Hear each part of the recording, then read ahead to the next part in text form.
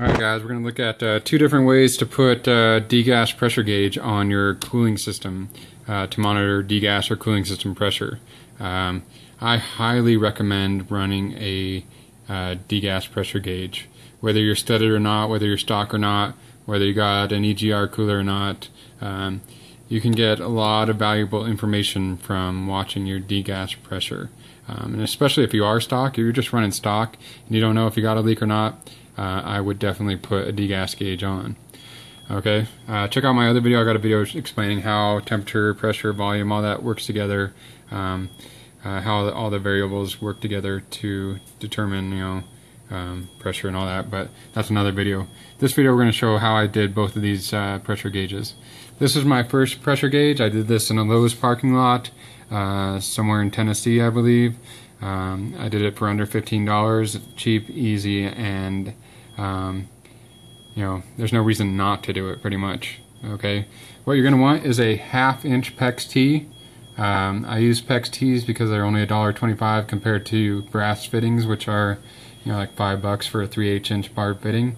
But you can use a 3 8 inch barb fitting as well.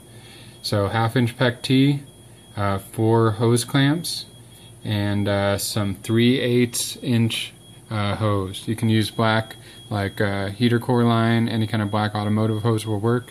Um, I was in a Lowe's parking lot, and uh, Lowe's had this 3 8 inch uh, pneumatic air line for running to a compressor. It was really cheap, and uh, it worked just fine. I've been running this particular setup for two years with uh, uh, blown head gaskets and pretty extreme conditions, so it works. Um, so 3 8 inch air line. You're just going to tee that in there. You don't want to cut this line coming from the radiator. Just pull it off.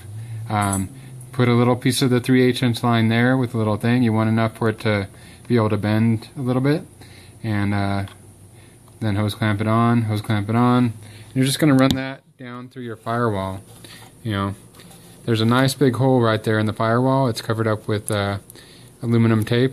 Just punch your hole, punch your finger through it, make a little hole, stick your your thing down through that. That's where I run all my wires. It's a good place. Let's go into the cab there.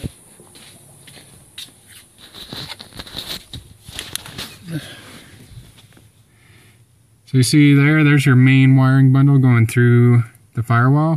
Right above it, you'll see a perforated foam uh, foam thing. You can actually pull that foam block out. It's kind of blocked in view by my low voltage shutoff. That, that box there shuts off all my accessories when I hit 12.5 volts. Uh, but right behind that, you see it's a, it's a perforated foam thing. You could pull it out. I'd like to leave it in. But right behind that is where uh, you've got that hole coming through your firewall. And you just run it out under the foam. Uh, I've just got mine coming out back up there down, around to here, like so. This is a 0 to 30 psi air pressure gauge. You can get these on eBay for $5 shipped. Okay, they're cheap. Okay, you don't need to get one that's liquid filled or anything. You can if you want to, but you can get it for 5 bucks. Yeah, I got the one with the 1 8 inch NPT uh, male coming out the side. You can do it out the back also, but then you got to drill a hole in your dash and come out the back. Um, I did this in a, in a Lowe's parking lot, and it's worked for two years pretty good. So um, I can vouch for this method. And you can see my elegant like zip tie there to the little vent in my dash. I think that's the air exchange vent for my auto climate control there. Uh, just got some zip ties there coming around and down. That's worked for, for two years really well. Simple and easy. The whole thing was under $15. It took me maybe maybe 20 minutes to do.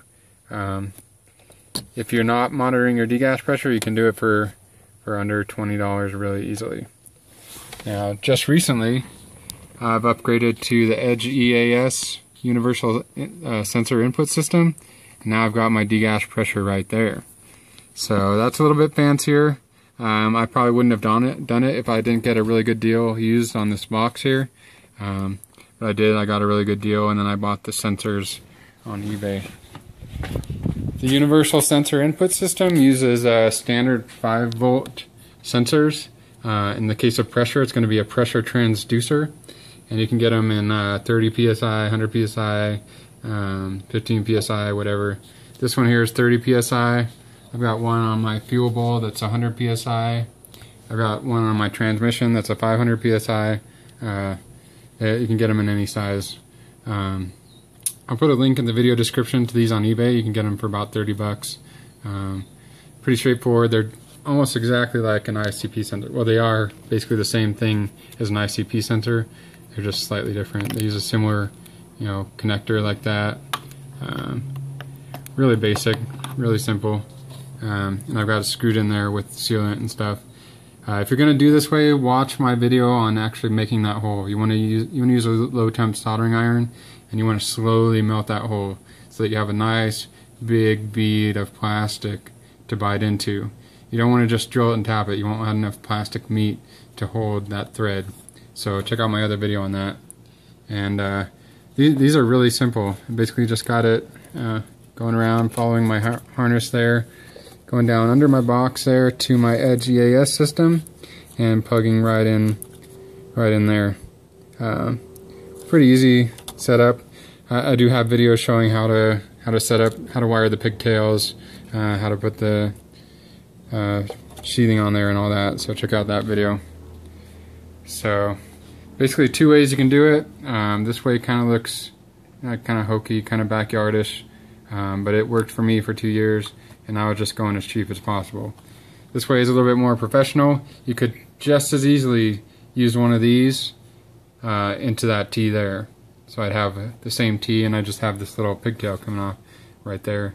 Uh, but I, I, like this. It's going to be out of the way. It's going to be nice and uh, strong and compact and it's uh, not going to look all crappy like that. I get more comments about this hose. I know a lot of you have probably seen this on the videos and wondered what the fuck that thing is. That's my degas pressure gauge, and it works, so don't laugh. That's how I ran for two years, pulling trailers for a living with blown head gaskets, okay? But this is the upgrade right there. That's $30. The Edge EAS system is like 150 and the Edge box itself is uh, a good 400 You can run one of these going to a digital gauge. You can get a, a nice uh, square digital gauge. Um, they come in all sorts of shapes and sizes, and you can even get round ones, square ones, flat ones, long ones.